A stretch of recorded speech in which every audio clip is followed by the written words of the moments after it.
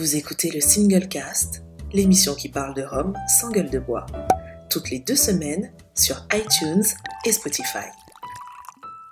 Bonsoir mesdames et messieurs et bienvenue dans ce énième Single Cast, le podcast qui parle de Rome sans gueule de bois. Je suis à nouveau, comme d'habitude, avec mes chers acolytes, Roger Caroni, Géry Gitani et Laurent Cuvier, aka l'homme à la poussette. Comment allez-vous messieurs? Très bien. Ça, tous confinés, j'imagine Ça roule, ben ouais, il faut bien, ouais. Voilà, voilà, voilà. Et euh, ce soir, nous avons également un invité, le premier invité de ces, de ces émissions. D'ailleurs, il me semble que c'est la dixième émission, là. Et pour cette dixième émission, nous avons un invité, Cyril Malde, qui est avec nous pour euh, cette émission. Cyril, comment vas-tu? Très bien, Benoît. Ça me fait très plaisir d'être avec vous et j'embrasse euh, Jerry, Laurent et Roger. Ça me fait très plaisir de discuter avec vous. Eh ben, nous, ça, nous, ça nous fait plaisir de t'avoir à nos côtés pour cette émission. On va parler de toi dans quelques instants, mais on va d'abord commencer par la petite chronique de Roger, comme d'habitude. Les news, Roger, on t'écoute. Alors bonjour tout le monde. Donc les news sont un peu plus nombreuses que la fois passée, grâce en, en partie au, au live de la confrérie du Rhum. hein. On a différents intervenants qui, qui passent de temps en temps dire bonjour. Et donc euh, on a eu euh, François Longto qui nous a expliqué entre autres qu'il allait sortir euh, Genesis mais de 4 ans. Donc euh, je pense qu'il y avait déjà eu une version ESB entre guillemets du, Ouais, c'est ça. du Voilà.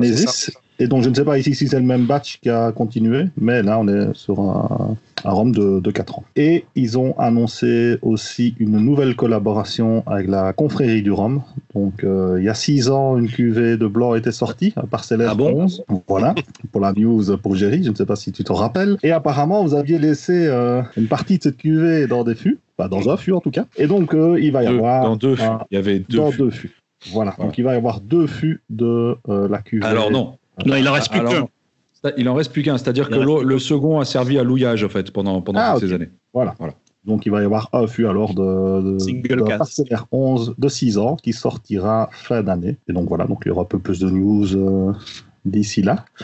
De Duchesse, qui est un embouteilleur euh, hollandais, pas très connu en France, je pense, mais qui a sorti quand même quelques trucs pas mal, dont des Caroni, euh, des Foursquare et des Worcy Park. Sort euh, là maintenant deux nouveaux embouteillages, un Martiniquais qui nous vient du Simon, qui est à 15 ans, et un Foursquare de 18 ans. Donc j'ai reçu les 100 et ils sont coincés au boulot. Et là je suis chez moi, donc je n'ai pas encore pu goûter. Concernant la confrérie du rhum, euh, le rhum Toucan de la confrérie est officiellement disponible uniquement chez Excellence Rhum pour cause de confinement. Euh, la logistique est un petit peu compliquée de dispatcher les 1000 bouteilles un peu partout, donc c'est Excellence Rhum qui s'occupe de la, de la vente. Ça coûte 35 euros et c'est dispo dès maintenant. Et dernière petite news, on a entendu encore sur le live de la confrérie du rhum Luca Gargano qui nous a fait un petit passage euh, de presque deux heures. Donc Ouais, beaucoup c'est ça. de, de nouveaux embouteillages. Il y avait un article qui est sorti sur un, un petit blog francophone qui parlait de deux, trois nouveautés, dont Nine Lives et euh, Chamarel, qui apparemment on dit Chamarel. Un blog Mais- francophone avec un blog, un blog francophone avec un accent belge. Je ne vous en dis pas plus. Ceux qui disent Camarel. Et donc euh, aujourd'hui, nous annoncer euh, deux trois news qui m'avaient caché, dont euh, les, les visuels des nouveaux Naissons 2016 qui vont sortir en bouteille noire et les visuels des Appleton 94, 95 et 99 ou 94, 95 et 99. Traduction Et incroyable. aussi un embouteillage qu'il a appelé Fuck Plastic, qui ne contiendra que du rhum bio. Et il nous a montré les fameux clairins avec euh, les, les étiquettes qui reprenaient des, des œuvres d'artistes haïtiens. Ah, et ça, il y en a un paquet. hein. Ouais. Oui, il y en a un paquet, il y en a un paquet. Il s'est un petit peu lâché. Et donc, euh, nous verrons Et ce que tout ça j'ai- donne. j'ai suivi ce, j'ai suivi ce, ce live. Euh, j'ai compté, il y a exactement en nouveautés Vélier qui vont sortir cette année 3827 bouteilles. Tout- toute référence confondue. Euh, non, ça Enfin, c'est juste pour une référence. Si tu cumules tout, tu arrives au, au million à peu près. C'est c'est- Parce c'est qu'il y a les beaucoup, c'est versions beaucoup. 20 centilitres maintenant. Ouais, ouais. En, même temps, avec un chiffre d'affaires de moins 95%, comme il a, comme il a euh, expliqué à plusieurs reprises, il faut bien, il faut bien commencer à vendre pour gagner de l'argent. hein. Voilà, voilà. En tout cas, euh, ce qu'on tient à préciser également, c'est que tous ces lives de la confrérie euh, sont visibles en replay euh, sur YouTube d'ailleurs pour ceux qui le souhaitent. Donc n'hésitez pas à aller jeter un coup d'œil si vous les avez ratés ou que vous n'avez pas pu les voir, etc. Vous pouvez revoir tout ça avec tous les différents intervenants. C'est régulièrement remis sur YouTube. En tout cas, merci beaucoup. Et puis, on va revenir à notre invité du jour avec Géry qui va nous faire. qui... Dis-nous en plus, pour ceux qui ne savent pas qui est Cyril Mald, parce que j'imagine qu'il y a peut-être quelques personnes dans le monde qui ne le connaissent pas. Euh, Alors, dis-nous. Dis Oui, oui, pour ceux qui ne connaissent pas Cyril Mald, euh, donc Cyril, était, Cyril a plusieurs casquettes. Il est chroniqueur, écrivain et entrepreneur. Alors, euh, chroniqueur, il écrit dans la revue des Veines France, il est chargé de la chronique spiritueux. Il écrit aussi euh, dans Rome Porter, comme beaucoup le savent déjà. Et puis, il écrit aussi dans Le M, c'est le magazine euh, du quotidien Le Monde. Il est aussi écrivain, hein, puisqu'il a écrit en, en collaboration avec euh, Alexandre Vintier euh, Iconic Whisky, hein, qui est considéré comme la, la, la, Bible du whisky en France. Je crois même qu'il a écrit un bouquin sur un, un, peintre, mais bon, il nous en dira peut-être plus là-dessus. Il y a peu de gens qui le savent, ça. Il me l'avait pas dit, mais j'ai retrouvé l'info. et puis, il est aussi entrepreneur, et c'est surtout à ce titre euh, qu'on qu l'a invité. Hein. Bon, alors, évidemment, il est dégustateur dans les différents jurés des, des différents concours, mais il est maintenant le, le, le, le président de la SAS euh, Rome Intelligence, qui est la société organisatrice de l'International Sugarcane Spirits Award qui, sera un concours international euh, dédié aux spiritueux de canne à sucre. Donc là, euh, ben, je pense qu'il va nous, en, nous détailler euh, ce projet. Donc concours dont on a parlé il y a, quelques émissions de, cela, dans le cadre justement des, concours et des salons dont on parlait. Donc c'est le concours un peu qui va remplacer le, le, les Rome Awards du Romfest de Paris, justement.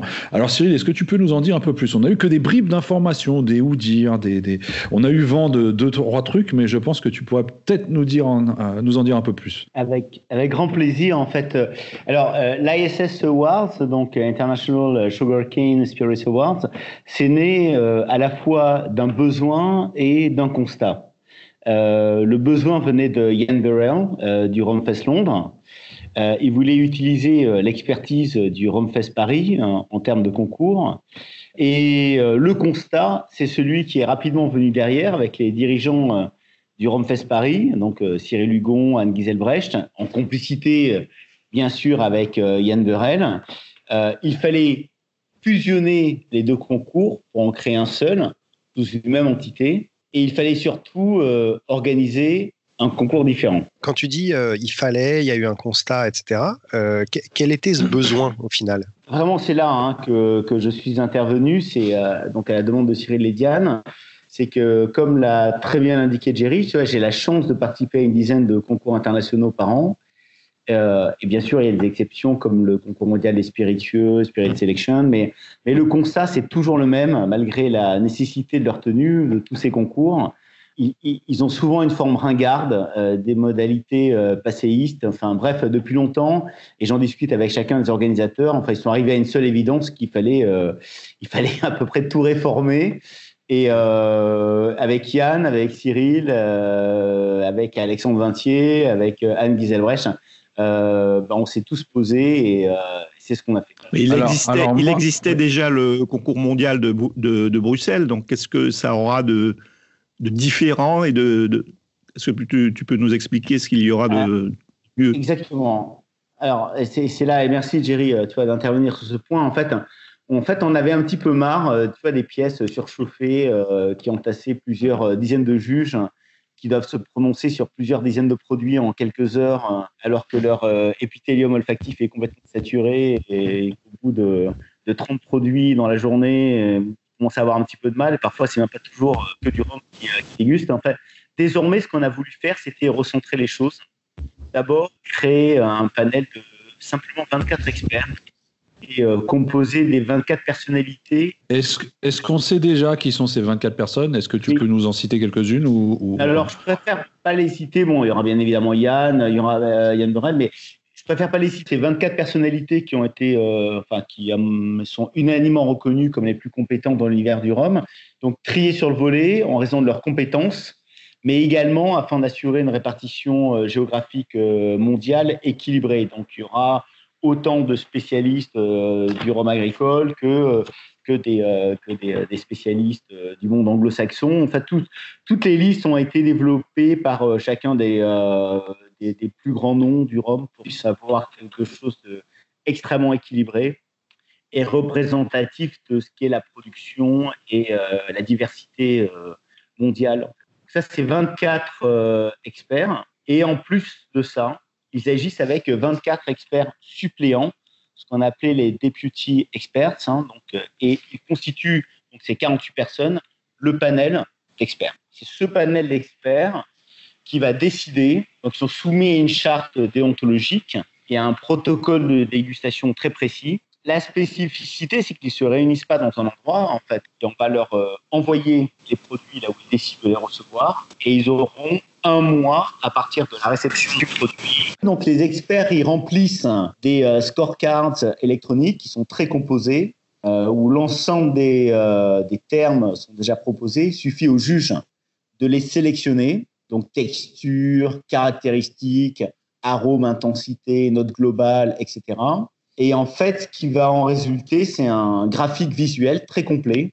Donc tout ça est géré par euh, euh, Louis Marty. Hein, donc on met en place un, instrument très complexe qui permet euh, pour chacun des ROM d'avoir un profil, un graphique très analysé. Alors c'est pas les graphiques type toile d'araignée horrible que l'on voit là, ce sera un, graphique qui sera très, vous allez voir, très très intéressant, très très parlant et qui permettra à tout le monde d'avoir une vision globale. Et donc, l'ensemble de ces graphiques pour l'ensemble des juges vont être intégrés dans un seul et même graphique et vous allez avoir bah, pour chacun des ROM, et on espère au fur et à mesure l'ensemble des ROM du monde euh, référencé et disponible euh, pour le public. Voilà. Donc au final, on, obtient un diagramme visuel très complet euh, qui va présenter les textures et les caractéristiques organoleptiques des, des roms et des cachaça, hein, parce que les, deux, il n'y a pas que les roms, mais les cachaça qui seront présentés également. Voilà, donc ça c'est vraiment notre but, c'est d'avoir un, instrument qui soit donc il y aura l'internet qui fonctionnera en même temps que le concours. Concernant les prix, il y aura en premier lieu les finalistes. Donc, euh, les finalistes, ce seront les, euh, les top 10 de, de chacune des, euh, des, 18 catégories. Donc, il y aura 180 finalistes. Les prix seront remis au Ramfest de Paris les 18, 19, 20 juillet 2020 cette année et en avril les années suivantes. Voilà. Il y aura les médailles d'or. Donc, c'est le, les meilleurs de, euh, des, euh, de leur catégorie. Donc, il y aura 18 médaillés d'or, mmh. euh, le premier de chacune des, des 18 catégories. Et ces prix-là seront remis au Romfest à Londres. Et donc, cette année, les 17, 18 et 19 octobre 2020. Et toutes ces dégustations-là se passent le jury seul chez lui ou il se regroupe suivant certains, certaines localités? Non, ça se passe chez eux, c'est-à-dire qu'en fin de compte, on commence. Alors normalement, pour les prochaines années, ça commencera vers octobre. Là, ça commencera effectivement un tout petit peu plus tard parce qu'il y a eu un décalage, euh, effectivement. Euh, voilà. Mais euh, chacun des jurys vont recevoir euh, l'ensemble des, euh, des, des, échantillons, auront un mois pour se prononcer et donc se prononceront avant juin. Et puis à partir de, de juin, on va récolter l'ensemble des résultats et pour pouvoir eh bien, proclamer les résultats euh, euh, en juillet pour le Romfest Paris pour les finalistes. Et puis après, on saura déjà quelles seront les médailles d'or, mais elles seront remises simplement au Romfest de Londres. Et puis après, on se réunit tous, mais virtuellement, pour désigner la canne d'or qui sera remise en fin d'année, en novembre. voilà, soit à Londres, soit à Paris, soit à Los Angeles. Alors, je pense que plusieurs, plusieurs questions nous viennent là directement à chacun. Euh, je vais proposer Roger. Est-ce que tu as des questions J'en ai posé une là, juste à l'instant. C'est vrai, c'est vrai. Et sinon, Bon, bah, j'imagine que sur- la- les, les- les jurés donc, euh, vont, vont arriver sur la plateforme que vous avez mis en place pour euh, donc, euh, caractériser tous les échantillons qu'ils ont dégustés. Euh, personne n'a la vue sur euh, un autre juré. Euh, chacun est focus sur le sien ou peut voir un petit peu ce que les autres ont déjà euh, euh, caractérisé ou, ou pas. Comment est-ce que ça fonctionne? Non, absolument pas. Non, non, il y a une charte qui est très très rigoureuse et en fin de compte, euh, tout sera codé Mhm. et euh, non seulement les jurés ne connaîtront pas du tout ce que les autres jurés vont avoir comme produit, mais ils n'auront même pas les mêmes codes. Donc, ils ne pourront même pas échanger Ah, ouais, entre eux s'ils désirent le faire. Ce sera impossible et ils auront une charte euh, très très spécifique avec les conditions de dégustation, les types de verres dégustation, les températures, les aérations. Euh, tout sera de manière euh, sera fait de manière extra. bon, ce sont des super professionnels. Oui, Et, oui, mais attendez. ils seront soumis à une charte déontologique ultra précise qui fait que il n'y aura pas le choix. Ils ne pourront simplement communiquer qu'avec une personne, enfin deux personnes, leur euh, deputy expert, hein, donc leur assesseur, parce que pour chacun des membres du jury, s'il tombe malade, euh, s'il n'est pas là pour réceptionner euh, tel échantillon, etc., euh, on a doublé euh, l'ensemble des, membres du jury. Donc, c'est pour ça qu'il y a 48 personnes. Et puis, il y a un questeur, en fait, quelqu'un qui, est là pour gérer l'ensemble, qui sera Marc Batté, qui, euh, qui est la personne qui va gérer toute la partie administrative. S'il y a des questions ou des points, ils peuvent se référer à lui. Mais ils ne pourront absolument pas communiquer et tout sera fait de telle manière qu'ils vont remplir leur carte électronique euh, et les codes seront faits de telle manière qu'ils ne pourront absolument pas communiquer les uns les autres. Il y aura même des choses très pointues, hein, où parfois on mettra deux fois les mêmes échantillons pour voir s'ils ont été de la même manière. Il va y avoir, euh, il y a beaucoup de choses qui vont être euh, intégrées pour que euh, tout ça se fasse de la manière la plus parfaite Bon. possible. Donc même des, des, des, petits pièges quoi, qui, qui, qui sont prévus dans, dans, euh, dans les dégustations, en fait, dans les sessions de dégustation pour, euh, pour être sûr qu'il n'y ait pas de, triche à un point, à, un point donné. Ce sera impossible en fait, euh, parce que les codes ne correspondront pas d'un membre du jury à l'autre. Alors, alors moi j'ai une question qui me vient, qui va un peu rejoindre la question que Jerry a posée tout à l'heure concernant le, concours mondial de Bruxelles.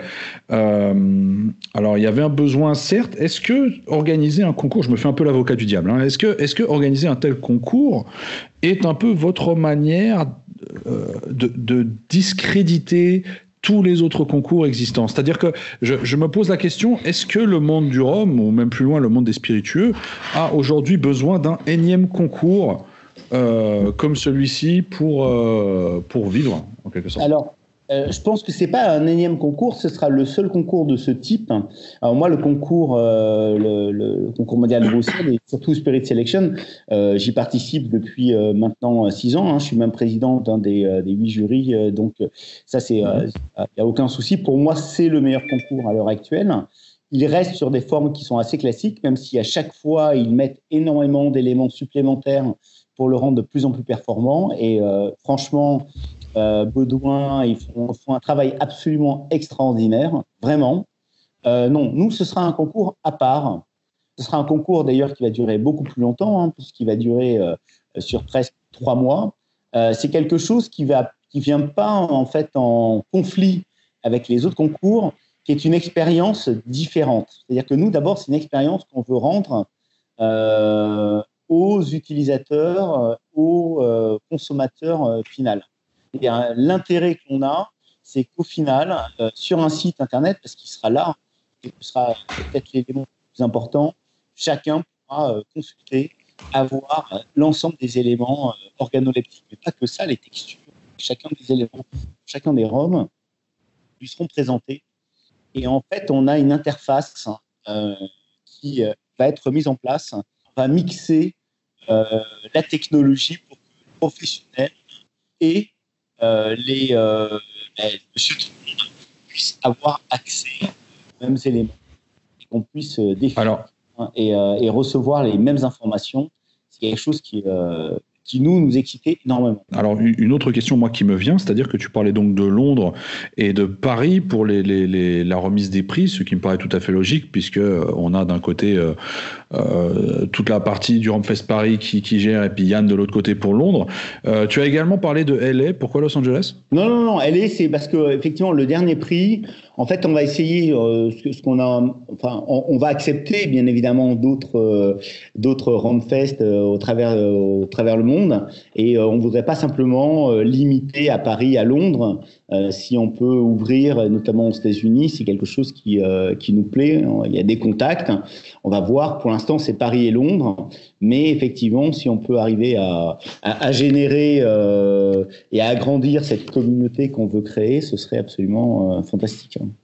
D'accord, d'accord. Euh, Géry, il me semblait que tu avais une question.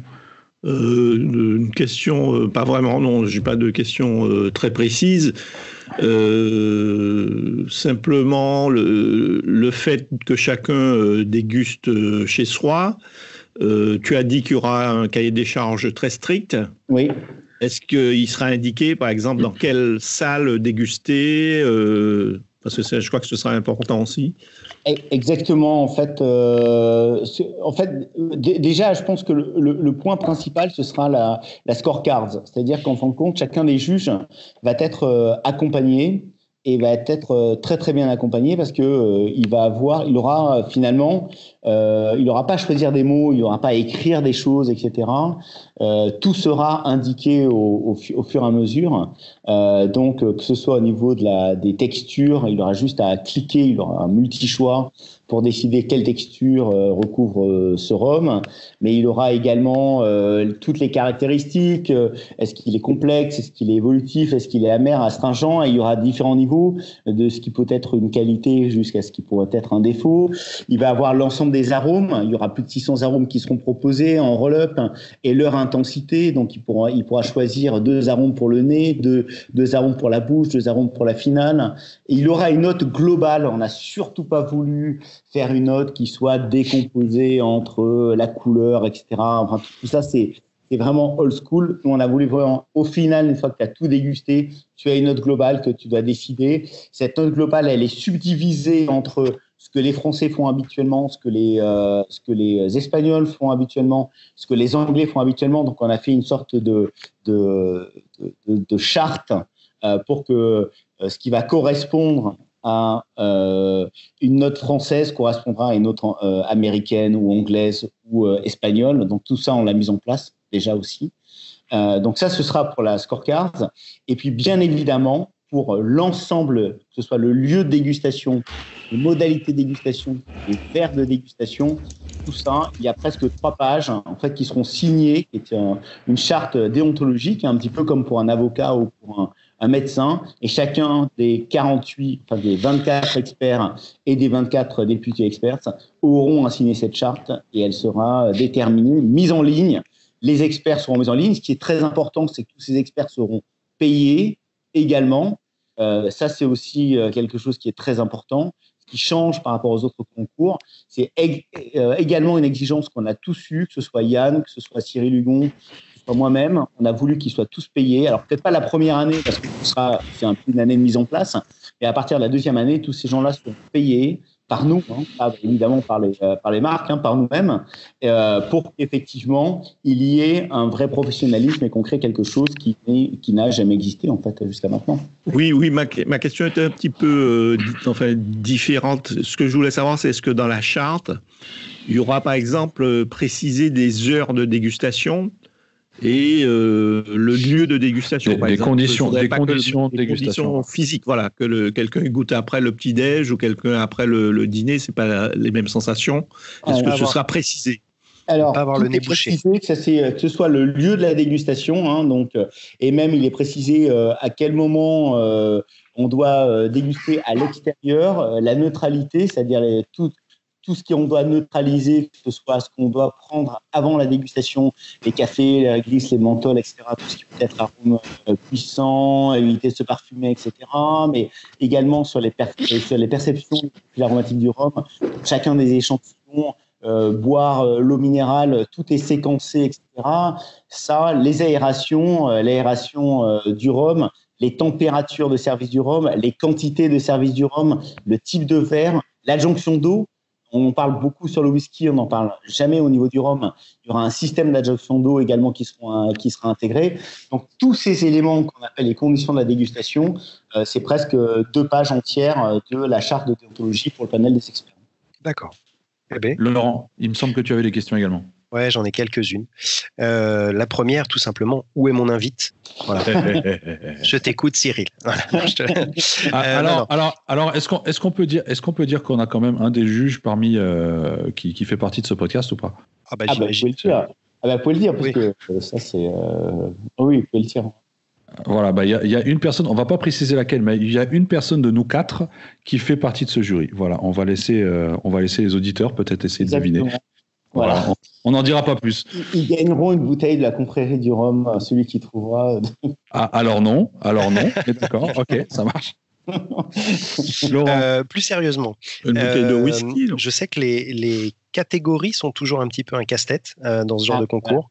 Euh, sur le Romfest, ouais, sur le Romfest par exemple, on a vu euh, au fil des années les catégories changer, avec parfois l'intégration de l'ajout de, de, de, sucre, enfin un taux de sucre, parfois non, etc. Donc là, quel est le parti pris et quelle est un petit peu la philosophie sur les catégories? Alors, Laurent, je te remercie vraiment pour cette question parce que ça a été un travail pratiquement de un an et demi avec Yann et Alexandre Vintier en particulier. Donc, on a énormément travaillé là-dessus. En fait, on a subdivisé euh, euh, ce qu'on appelait euh, rhum sec, rhum doux, rhum bonifié, cachaça qui est à part et ce qu'on appelait les hors catégories. Donc, les rhums secs, en fait, qui, par édulcoration volontaire, en fait, possèdent un taux de sucre mesuré qui soit inférieur à 10 grammes par litre.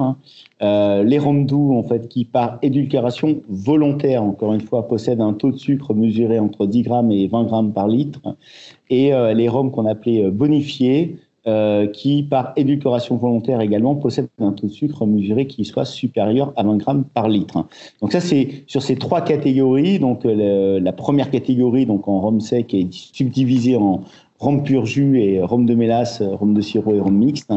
et à chaque fois subdivisée en trois catégories, blanc, 3 et 6 ans et 7 ans et plus. les rhums doux, donc là, c'est l'ensemble des Roms. Hein. Pareil, blanc, 3 euh, ans, 6 ans, 7 ans. Euh, les Roms bonifiés, blanc, 3 ans, 6 ans et puis 7 ans et plus. Et puis Cachaça, donc euh, la moi en purge de canne, ce sera les, ben, les, Cachaça blanches, les inférieurs à 3 ans, ce qu'on appelle les Armazenada, les Endelchi LP, Shida, les premium, et les supérieurs à 3 ans, donc les extra premium. et puis effectivement les hors catégories, donc euh, qui concernent l'ensemble des types de rhum. Hein. donc pour les craft rhum euh, et les clairins, donc on a mis à part hein, ce type de hors catégorie. Ça c'est la catégorie 16. Il y a ce qu'on appelle les euh, NAGs. ça c'est la catégorie numéro 17. Hein. en fait, qui concerne plus particulièrement les, les alors, NAGs, c'est celle qui concerne en fait les non-aged, premièrement, les Gold, donc inférieurs à 3 ans, et puis les Solera qui n'ont pas été définis. Et puis, effectivement, ce qu'on appelait les rhums de macération, donc euh, cet ensemble un peu divers, avec les Spice Rum, euh, Rhum Orange et les Shrub. Donc, en fait, en tout, ça fait 10 catégories. Donc, ouais, je, reprends euh, la première catégorie dont tu parlais, qui était les rhums secs. Oui. Dans les rhums secs sont autorisés jusqu'à 10 grammes, c'est ça? Exactement. Enfin, en taux, euh, en édulcoration volontaire. Après, effectivement, si, euh, si, si euh, le fût donne un peu, ça c'est quelque chose qui sont des choses qui sont indépendantes. Mais en tout cas, en, tout cas, en, taux de sucre mesuré par édulcoration volontaire, effectivement, ce sera inférieur. Alors, qui, qui, va effectuer ces, ces, ces mesures exactement? Est-ce qu'il y aura des tests complémentaires qui seront faits par vous?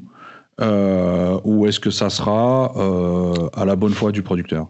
Alors, euh, on a, on travaille avec un laboratoire et, il y aura, tout sera quasiment mesuré. D'accord. Ok. Donc vous partez du fait qu'un rhum sec peut être sucré? Inférieur à 10 grammes par litre. Ouais. Volontairement. Volontairement. Exactement. Ok. Laurent, il te restait d'autres questions?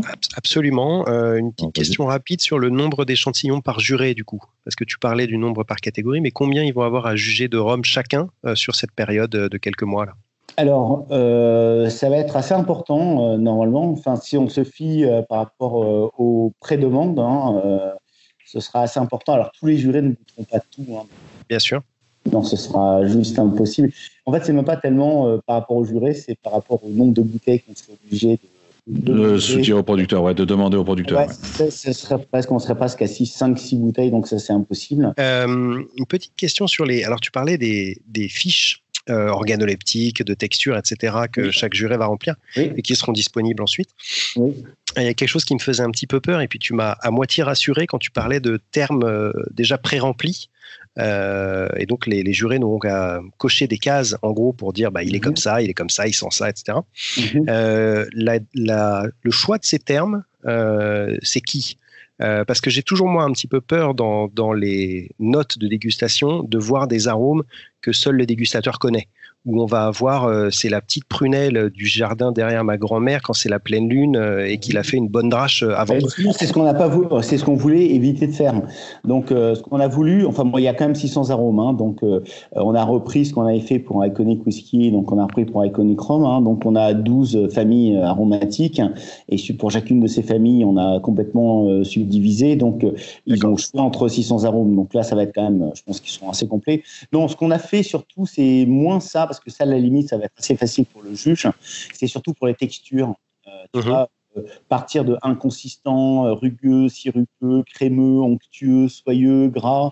Ça, c'est des choses qui n'arrivent pas foncièrement. Et donc, les gens ne vont pas avoir les mêmes termes qui vont arriver. Là, nous, ce qu'on a essayé de faire, c'est on a travaillé deux ans sur chacun des termes d'un point de vue texture. Et quand je parle texture, c'est pas simplement où on imagine, c'est toucher de bouche, mais c'est également la texture sur le nerf trichunal. C'est ce qu'on a vu sur les, grands articles Nature, euh, les derniers articles sur euh, euh, comment tu conçois sur les différents chémorécepteurs qui sont pas simplement sur la langue, qui sont également sur les poils du palais, etc. Donc on a vraiment travaillé euh, là-dessus. Si plus personne n'a de questions, je propose à Laurent de passer euh, à son. Alors, c'est pas une question. Ah, c'est plus une remarque. Une, ouais, une remarque. Euh, malgré tout, parce que je, vois bien qu'il y a ah, énormément de. Exactement. il y a énormément de boulot qui a l'air d'avoir été mis en place depuis un moment déjà. D'ailleurs, d'avoir un vraiment un modus operandi on super compliqué. On parle de travail de deux ans, là, c'est ça Exactement, de, de, plusieurs personnes et vraiment de spécialistes. Donc euh, voilà, il n'y a pas à remettre ça en doute. En revanche, c'est vrai que moi, pour avoir participé, que ce soit aux présélections ou aux phases finales des Romfest, bah, je suis un peu déçu. déçu de, ne plus. Alors, c'est pas seulement de ne plus pouvoir en faire partie, mais c'est vraiment de ne plus se retrouver avec ces autres amateurs, dont certains extrêmement pointus, bien que ce soit des, des, des enfin, pas des professionnels, mais des amateurs. Euh, je pense à des, je, sais pas, des, des Philippe Antiope, des euh, euh, Alan Vanal, enfin, plein de gens comme ça qui, qui ont vraiment une connaissance extrêmement pointue et qui, malheureusement, il y aura plus ces moments de convivialité, il y aura peut-être plus aussi cette, euh, cette lecture des roms euh, faite par des particuliers euh, Je trouve que ta remarque, elle est, elle est, extrêmement intéressante et je vais y répondre à double titre. D'abord parce que entre professionnels, on va se revoir tous ensemble et il n'y aura pas simplement la remise du Grand Prix là, pour la Cannes d'Or et tous ces prix régionaux, etc., où vous serez bien évidemment tous invités, il y aura un partage. Mais j'irai beaucoup plus loin que ça, c'est que les juges, lorsqu'ils seront notés, euh, et ça, franchement, c'est un travail que nous, on veut faire. Il y aura une notation derrière pour voir si euh, les utilisateurs, les consommateurs finaux sont d'accord également avec ce qui a été fait. Donc, il y aura pour chacun, chacune des représentations, etc. Tout le monde pourra décider en disant, ben voilà, on est 88% à être d'accord euh, sur le choix qui a été fait sur ce type d'arôme, sur ce type, etc. C'est-à-dire que ce que l'on mhm. voulait, c'est induire euh, faire comprendre à les gens voilà, on était plutôt sur ce type aromatique, les aider un petit peu, les mettre sur la voie, et que derrière, effectivement, ils pourront interagir sur le site, euh, avoir également leur avis, les raisons d'or, hein, fonction de ce qu'ils et effectivement, on va voir également ces évolutions et, euh, et, savoir. Donc, on aura effectivement également un pourcentage pour l'ensemble, non pas simplement pour les professionnels, pour l'ensemble des consommateurs. On va pouvoir mhm. si ce qui a été décidé pour eux leur paraît correct ou pas. Alors, je me permets de te couper là. Je me, je me permets de te couper là pour savoir euh, est-ce que euh, ce, n'est pas un peu dangereux quand même Euh, dans le sens où, une fois que tout le monde aura compris qu'on peut, qu'on peut, qu'on peut agir de la manière euh, et interagir sur un site, imaginons qu'une marque de mauvaise foi euh, fasse appel à euh, tous, ces, tous, tous, ces consommateurs, tous ces fans, imaginons qu'ils qu'ils aient une, une, une, base de données de fans euh, très importante, et fassent euh, une communication, oui, allez sur tel site et votez pour nous, un truc comme ça. Ce sera un indice, ce sera un indice. De toute façon, ce ne sera pas l'indice le plus important, mais, mais ce qu'on voulait, c'est quand même offrir la parole euh, aux gens, leur dire qu'effectivement, euh, il y aura un panel d'experts, ce seront les plus grands experts dans le monde. Il y aura 48 personnes qui décideront des choses, qui donneront la voix. Mais si vous avez quelque chose à dire, dites-le. Et ça, c'est bien. Et pour les autres professionnels qui, euh, qui ne participeront pas forcément au panel, ils participeront à un moment ou à un autre à la compétition parce qu'on les recevra tous au moment des, euh, des, des, grandes remises des prix et on partagera avec eux également. Donc euh, cette convivialité, on veut la garder et c'est quelque chose qu'on a considéré comme étant important. C'est pas parce qu'on dématérialisait les choses. D'ailleurs, c'est un petit peu un élément d'avenir. Hein, je pense que là, euh, il y aura pas énormément de concours euh, de spiritueux qui vont avoir lieu euh, cette année. Hein, ça sera quand même un énorme problème. on n'était pas du tout au courant de ça, bien évidemment il y a deux ans, mais euh, c'est ce qu'on avait mis en place parce qu'on pensait qu'il valait mieux rétribuer les juges plutôt que de les faire voyager qu'on trouvait ça plus intéressant euh, qu'ils aient un mois à déguster dans les conditions que eux considéraient en fonction de la charte déontologique comme étant le, les, plus, à même pour eux de, donner leur, euh, avis. Mais il n'empêche que le consommateur final est là, c'est un, élément essentiel, et les autres experts qui sont toute façon, ça risque de changer aussi. Hein, les experts, hein, et, ça va tourner, il va y avoir des éléments, il y aura de, pas mal de choses. Cachassa, on n'a aucune idée à l'heure actuelle de combien de Cachassa on va recevoir. Si on reçoit 6 000 exemplaires de Cachassa, comment est-ce qu'on va gérer ça? Ça, c'est encore des problèmes qu'on n'a pas eu. Euh, voilà, la première année, on n'en aura pas 6 000. Et la deuxième année, euh, bon, voilà, ça peut être quelque chose. Où, et il faut, faut s'attendre à avoir euh, voilà, beaucoup, beaucoup d'éléments. Ouais. alors, euh... alors je veux, je veux, je veux pas, je veux pas casser l'ambiance, les gars, mais il a quand même dit euh, les meilleurs dégustateurs du monde et non, non. trois, trois, trois d'entre nous n'en font pas partie. Désolé de vous décevoir, les gars, mais trois d'entre nous n'en font pas partie. Voilà. Ah bah moi c'est mort, ouais. Merde. Euh, ah bah, bah, donc il y en a plus que deux où on sait pas qui c'est. Ouais. J'avais une petite question concernant la, la, la plateforme. J'imagine que oui, mais l'accès est, est, gratuit pour tout oui. un chacun. Il crée son oui. compte et puis après, il, de manière authentifiée, il peut donner son avis. Ça reste exactement. quand même des comptes. C'est exactement ça. C'est exactement. Mmh. Moi, je, mets, je, laisserai plein de, de, commentaires pourris sous le nom de Roger Caroni. Je préviens tout de suite. ouais, parce, oui, parce que si tu mets Laurent, euh, on ne saura pas lequel. Ah, exact. Si Laurent Caroni, ça marche moins bien. Il faut être ciblé. Ouais. Alors, on arrive dans les Cachassa, on n'aura pas celle de Gargano. Hein. Il n'est pas tombé amoureux de, des Cachassa. Non, il n'est pas tombé amoureux, non, non, non. Pas encore. Euh, alors, on arrive tout doucement à la fin de cette émission. Euh, Laurent, tu oui. nous présentes ton conseil du jour? Alors oui, euh, je ne sais pas si Cyril euh, a déjà eu l'occasion d'écouter ce, ce, petit podcast, mais euh, en gros, à chaque fin d'émission, je propose un petit conseil de dégustation. Et, euh, et aujourd'hui, bien loin de moi l'idée de proposer quoi que ce soit, par contre, je vais te donner la parole. Euh, oui, et je vais... non, tu, ne fais, tu ne fais plus et... partie des meilleurs dégustateurs au monde, donc non, ça ne sera pas officiel. et puis, et donc, je voulais savoir si tu avais un conseil un conseil clé, celui que tu donnerais peut-être à quelqu'un qui commence, qui veut s'intéresser à la dégustation, quel serait-il? Alors, euh, c'est moi qui ai posé la question. Hein. Absolument, Donc, euh, Cyril. Alors, alors, pour moi, le, le conseil clé, c'est euh, ce qu'on a développé, c'est la dégustation vers horizontale. Euh, parce mm -hmm. que effectivement, les composés aromatiques dans le verre n'ont pas le même poids. Et donc, si on déguste avec le nez, le verre est à la verticale, on va recevoir les mêmes éléments aromatiques au même moment. Alors que si on déplace le verre à l'horizontale, il va se créer des strates aromatiques. Mmh. Donc les mmh. arômes, euh, donc les éléments les plus lourds vont descendre en bas du verre, et plus on va monter, plus on va avoir les éléments floraux, ouais. puis euh, tout en haut, euh, voilà, les, enfin fruités, ouais. mmh. et, et, floraux. Et effectivement, la seule chose que je conseille, savoir vraiment comprendre les strates aromatiques. D'accord. Eh ben, merci beaucoup. Je vois quand même une difficulté, pas en foot partout, mais ça, bon, je pense que Voilà. Il faut euh, juste 2 euh, deux, deux centilitres, euh, voilà, sinon, c'est pas possible. Absolument. Faut pas verser le rhum sur la table, en fait. C'est ça. Non, mais c'est surtout dur dans les verres à moutarde qui sont très adaptés. c'est compliqué. Ben voilà, en tout cas, euh, je vous remercie. Cyril, on te remercie d'avoir fait partie euh, de, cet, de cet épisode. Ben, c'est moi qui vous remercie. Hein. En tant que premier invité, je suis hyper honoré. Euh, franchement, merci beaucoup pour l'invitation. Merci à toi pour toutes ces explications. Et puis, qu'est-ce qu'on peut te souhaiter? On peut te souhaiter bonne chance pour ce projet? Exactement, ça me fait très plaisir. C'est très gentil, Benoît. Bah voilà. En tout cas, merci Cyril. Et puis, euh, merci messieurs également. On se retrouve euh, dans deux semaines. Et chers auditeurs, n'oubliez pas euh, de suivre cette émission sur les réseaux sociaux et que vous pouvez réécouter cet épisode, l'écouter ou la réécouter, ainsi que tous les épisodes précédents sur Spotify, iTunes et YouTube. Je vous dis à dans deux semaines, messieurs. Ah, ok, ben, merci Cyril, merci Laurent, merci Roger. Et... Merci tout le monde. À dans deux semaines. Bonne quinzaine d'ici là et puis bonne chance pour le concours. Voilà, merci beaucoup. Allez, bonne soirée. Au revoir. Salut, salut. Vous venez d'écouter le Single Cast, l'émission qui parle de Rome sans gueule de bois, toutes les deux semaines sur iTunes et Spotify.